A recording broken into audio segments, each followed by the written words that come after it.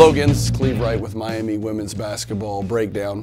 The first one's a defensive clip um, from our Akron game. So Akron's obviously got it down here. They're, they're running their set, reverse the ball. We're doing a good job of seeing the ball and seeing our person uh, here.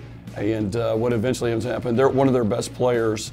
Uh, takes it hard to the basket. Meg does a great job. Meg Galloway does a great job of coming over and taking a charge.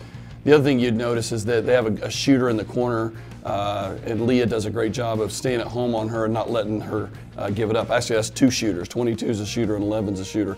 And so played that right and uh, was able to get our feet set and take the charge. And fortunately, the officials agreed with what we saw. So, all right, clip number two.